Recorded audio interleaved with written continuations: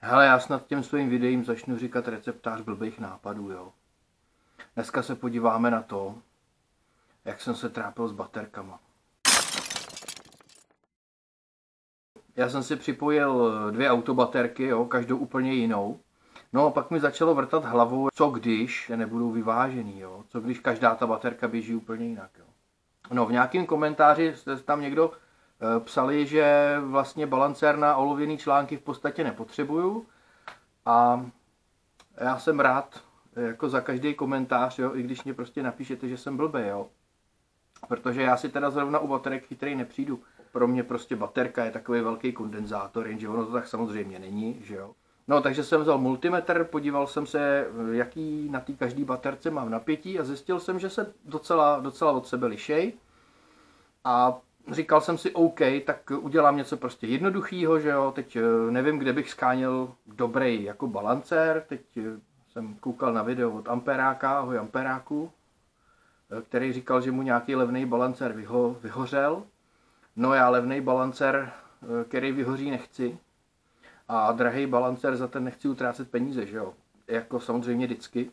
Takže to dopadlo tak, že jsem vzal dva odpory, 39 ohmů a řekl jsem si, máš prostě tam nějaký moduly s výstupníma relátkama, tak prostě když budeš mít na té baterce jako moc vysoký napětí nebo rozdíl napětí baterek, tak prostě se ta baterka zatíží. Já tu baterku v podstatě přemostím odporem a ten proud, který mě teče skrz ten odpor, tak o ten se víc nabíjí ta baterka druhá. A říkal jsem si, to bude jako OK. Každá baterka je jinak nabitá, tak prostě 300 mA ti tam poteče, to není tolik. A postupně se to jako vyrovná a ty napětí budou stejný, jo. No ani hovno. Ani hovno prostě. Já jsem, já jsem se s tím trápil, eh, protože jsem si jako inteligent eh, jednu baterku dal obyčejnou starou autobaterku, nějakých 55 Ah a druhá baterka Fungl nová, ale vápníková, 45 Ah. A teďka já jsem na ty vápníkový, to jsem jako věděl, že ty vápníkový nějak jako potřebují trošku vyšší napětí. No a to je problém, protože ten můj měnič v tom udržovacím režimu vlastně nedělá nic jiného, než že tam má nějaký nastavený napětí, který je v rozsahu 27,4 až 27,5 V. A co si ta baterka veme za proud, to si veme. Já když tam připojím odběr konstantního proudu, tak já ty baterky rozbalancuju, ale to součtové napětí se mi prakticky nezmění. A teďka ono mi to s tou jednou baterkou hejbá nahoru, s druhou baterkou mi to hejbá dolů. No jako vůbec to nedělalo to, co jsem chtěl. A teďka, jak ty baterky, jak ty odpory připínat, jo? jak to řídit. A já jsem tady vymýšlel milion různých algoritmů, jak to udělat, jo? že tam připojím ten odpor na chvíli, pak ho zase odpojím, podívám se, jestli se ty napětí trochu srovnaly. No tak jediný, co se mi povedlo, bylo udělat z toho oscilátor a jeden ten algoritmus byl tak dobrý, a já vůbec nevím proč, ale byl tak dobrý, že mi to rozdílový napětí zvyšoval tím, že se snažil tu baterku vybít. Jo? A to už jsem jako teda ztrácel trpělivost s tím a říkal jsem si, tak to je nějaký blbý. To je těma baterkama, že jsou každá jiná. Protože tady mám ještě tu samou baterku levnou v nějakém autě, tak jsem si vzal baterku z toho jiného auta, jo, okay, ta nebyla moc nabitá, ale stejný výrobce, stejný typ baterky, stejná kapacita, já je připojím do série a on ten rozdíl tam je pořád. Obě ty baterky byly nabitý a ten rozdíl tam zůstal. Jedna baterka měla 14,2 a druhá baterka měla 13,2. No na 13,2 kalciová baterka to už není moc dobrý. Takže veškeré moje teorie prostě padly. A nejhorší na tom všem bylo, že ve chvíli, kdy jsem ty baterky začal vybíjet, kdy jsem z nich začal odebírat proud, tak oni měli to svorkový napětí najednou úplně stejný. Ten rozdíl tam byl třeba 10-15 mV, jo? možná 20 víc. A já se na to koukal jak blázen. Protože to znamená, že ty baterky ve chvíli, kdy se vybíjejí, tak mají stejný napětí. Teďka vybíjejí se v obě stejným proudem. To znamená, v obě byly stejně nabitý. A jakmile je připojím zpátky a začnu je zase nabíjet a pošlu je do toho udržovacího režimu, tak je mezi nimi rozdíl 1 V. Takže nakonec to dopadlo tak, že tu fungul novou baterku jsem dal do auta na převýchovu, protože baterka, která má trvale 14,3 V, mě prostě likviduje tu druhou. A z auta jsem vyndal jinou baterku, taky kalciovou, která teda nemá 45 Ah, ale asi jenom 41, protože já si na kapacitu baterek moc nehraju, já bydlím na kopci, jo. Tak jsem ji tam dal, ta byla teda úplně vybitá, protože to auto mi nějak blbě dobí, nebo kde si co si. No, když jsem viděl, co to dělá, to jsem jako nevydržel. A místo toho, abych tam vyráběl tyhle ty zrůdnosti, tak jsem k tomu prostě připojil nabíječku a tu vybitou baterku jsem trochu nabil nabíječkou, jo. Ale nevím, co si o mě v tu chvíli ten měnič musel myslet. Ale to napětí 27,4 prostě na tom obvodu, tak furt zůstalo, jo. Takže já jsem si říkal, OK, to je milý překvapení, jo. Tak jsem to dobil. A najednou to zašlo jako vypadat dobře, ten balancer, ten odpor mi tam začal rovnat ty napětí těch baterek.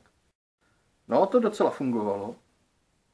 A fungovalo to ne, jenom do té doby, než ty baterky v obě byly plně nabitý. A teďka já jsem zjistil, že všechny ty tabulky a grafy, které říkají napětí na baterce podle toho, jak je moc nabitá, tak vůbec nefungují ve chvíli, kdy dáš dvě baterky do série a tuhle tu sérii připojíš na stabilní napájecí napětí, tak nic z toho prostě neplatí. Teď ty baterky jsou plně nabitý a já nevím, jestli je to vlastnost jenom těch kalciových baterek, nebo to je vlastnost každý autobaterky. A upřímně řečeno, nejsem si úplně jistý, jako, jak to ty balancery vlastně dělají. Ale nějakou teorii na to mám. A ty, když máš ty baterky připojený na to stabilizovaný napájecí napětí, tak ty podle napětí na té baterce vůbec nepoznáš, jestli je nabitá víc nebo míň. Ty to poznáš jenom potom, co se to pokusíš rozbalancovat tím proudem navíc. A baterka, která ti předtím vylezla na 14,2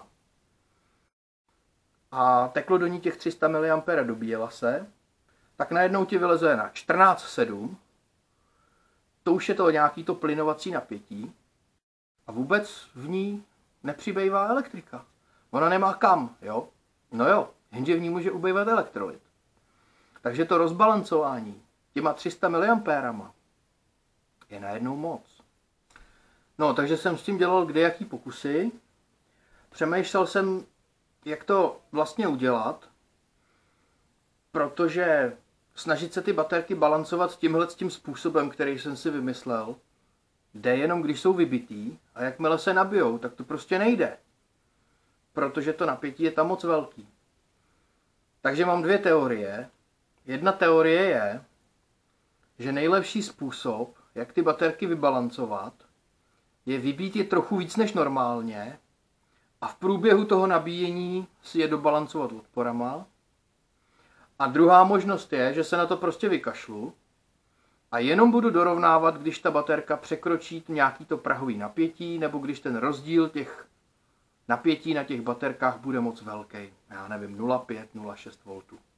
Na nějaký pokusy e, s dvouma odporama, s dvouma relátkama, ono to vypadá hezky, ale nefunguje to pořád.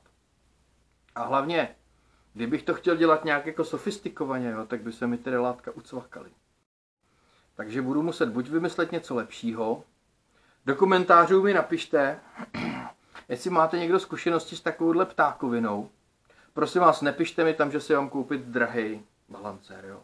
A to asi dobře víte, že drahý balancér si kupovat nebudu, ale třeba je nějaká metoda, jak to udělat chytřejc. Ale každopádně už se mi při těch pokusech výměnama baterek povedlo taky jako zapálit nějaký kabely, který jsem si tam dal jako dočasně. Takže moje zkušenosti začínají být kompletní. A e, buď něco vymyslím, anebo nevymyslím, ale každopádně vám ušetřím vstekání. Takže čus.